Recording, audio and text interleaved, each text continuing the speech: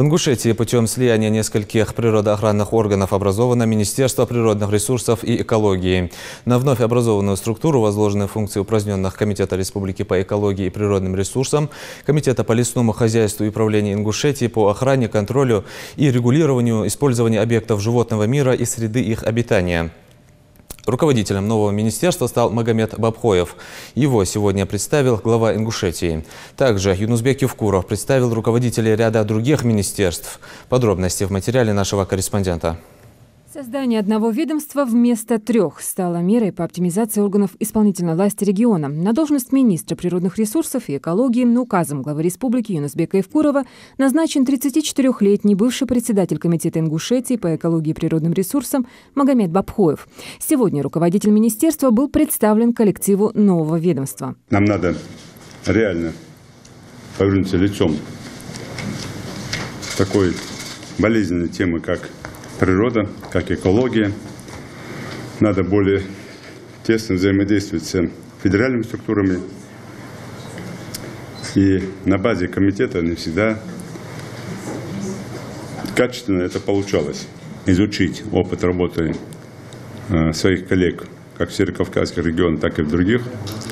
Мы должны проработать вопросы, изучить работу федерального министерства, тесно наладить работу со всеми профильными департаментами в Федеральном министерстве и, э, конечно, э, ввести окончательно в строй вот те подразделения, которые мы э, тоже ввели в строй уже нового министерства. Это и Комлесхоз, это охрана животного мира, ну и так далее.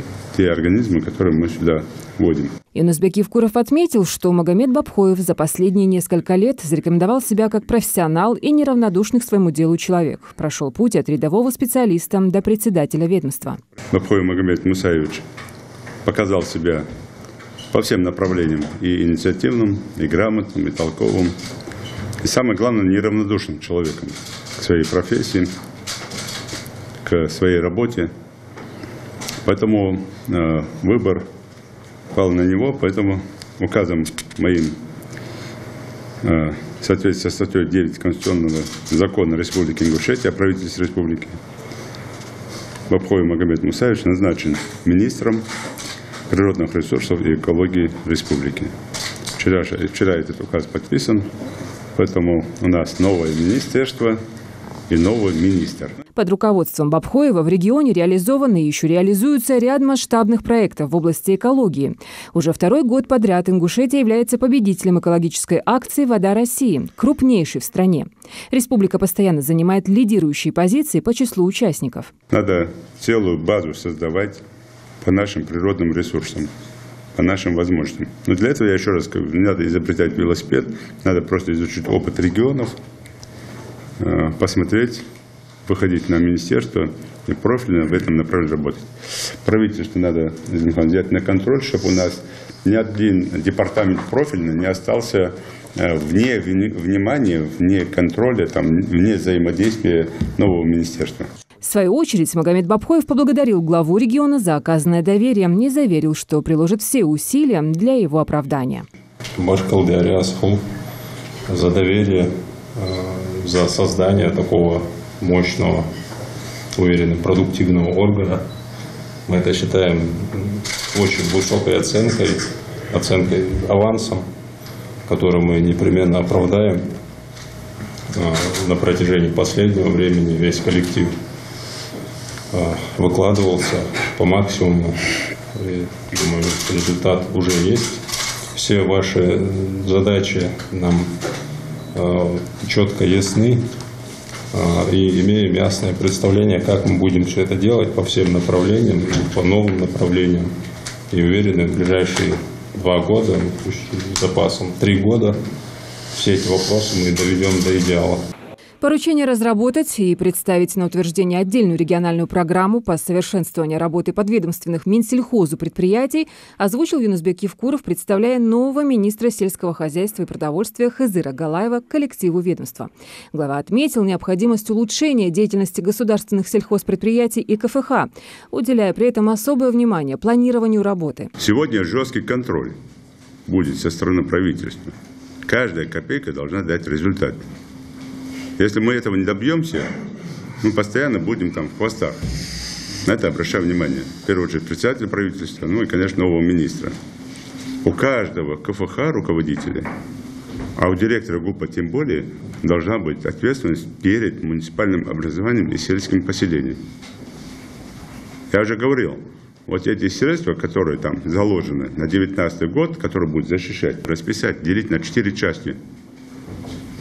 Одна часть, которая идет на зарплату, в первую очередь, людям, и на премиальные, и на другие вещи. Вторая часть, которая идет на обновление техники, удобрение, и так далее, и так далее.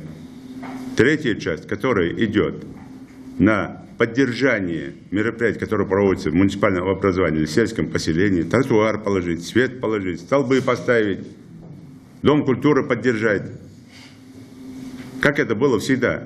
Говоря о профессиональных и личностных качествах нового министра, руководитель региона отметил, что коллектив ведомства хорошо знает назначенца, знаком с его трудовыми успехами.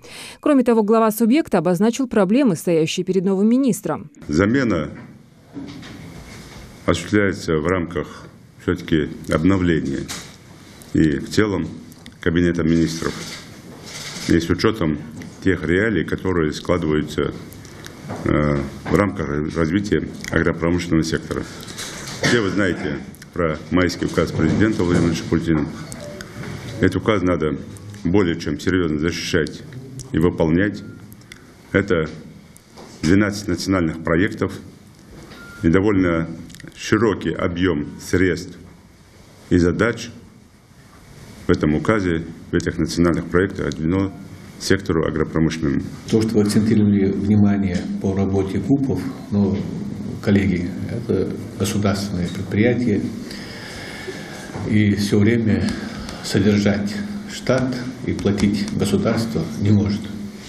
Когда-то время наступает X, и э, тот, кто работает, тот, кто зарабатывает, хотя бы самодостаточен, ну, с ним будет э, отдельный подход, отдельный разговор.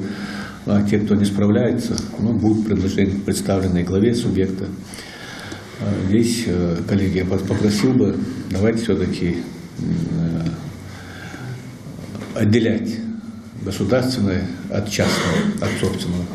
Это не ваша собственность, вы правильно понимали, э, это собственность государства. И здесь будет, конечно, у нас очень жесткий контроль. Далее Юнусбек Евкуров вместе с Зелимханом Евлоевым представили коллективу Минстроя региона нового руководителя Османа Вышегурова.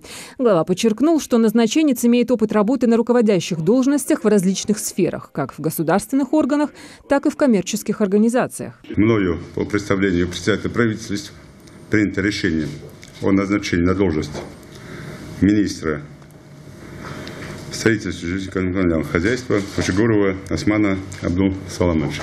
Насчет опыта работы в разных направлениях поработал, в том числе э, и различных там, как мы говорим, земных должностях. Надеюсь, что тот опыт, который там прошел, будет эффективно использован в работе здесь уже непосредственно в министерстве. По мнению главы региона, одна из первоочередных задач, стоящих перед новым руководителем – достижение целей, установленных в майском указе президента Российской Федерации.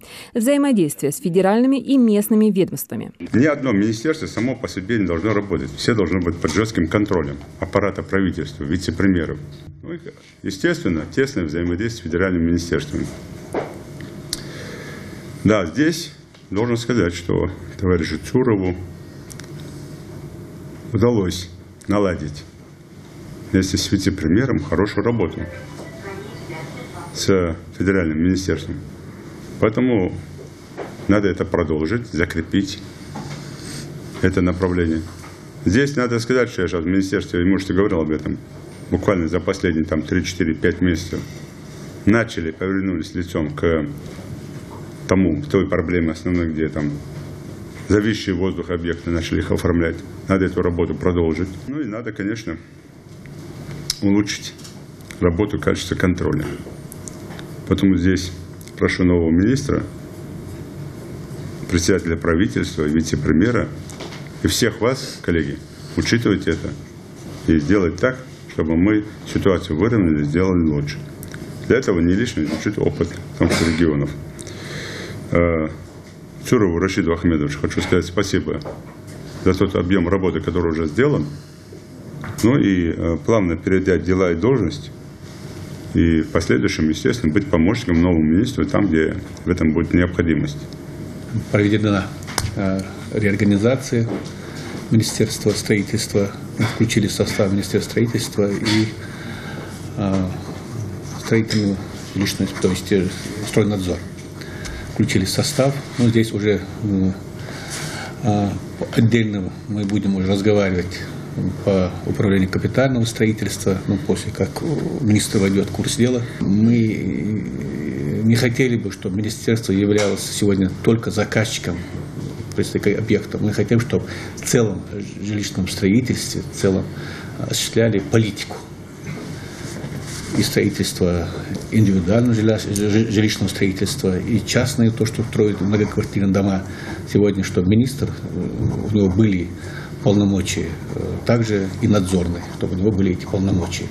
Значит, э, скажу сразу, что в некоторых субъектах такое наблюдается, наблюдается, и уверен, что при,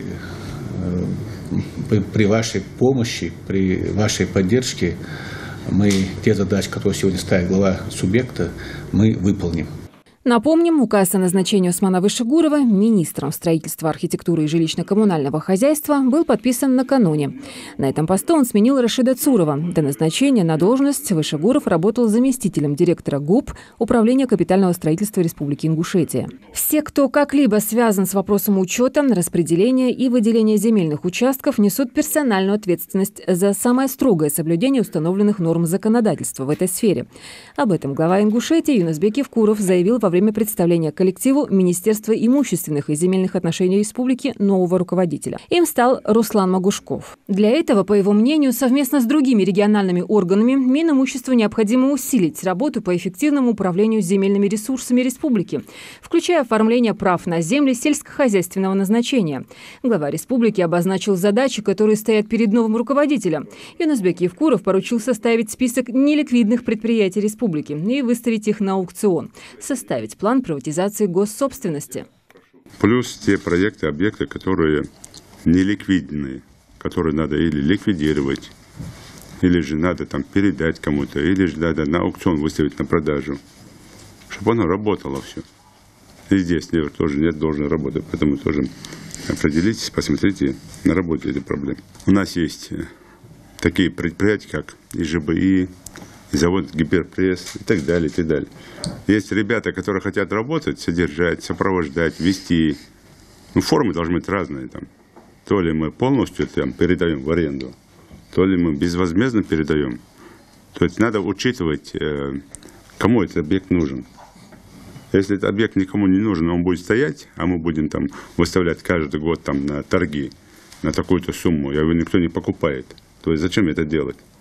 Тогда надо находить человека, передавать ему бесплатно, безвозмездно, чтобы этот объект работал. Руководитель субъекта выразил уверенность в том, что новый глава ведомства продолжит улучшать уровень работы и дисциплины в министерстве. Руслан Магушков поблагодарил Юнусбека Евкурова за оценку его профессиональных качеств, заверив участников встречи, что постарается приложить максимум усилий, чтобы оправдать оказанное ему высокое доверие.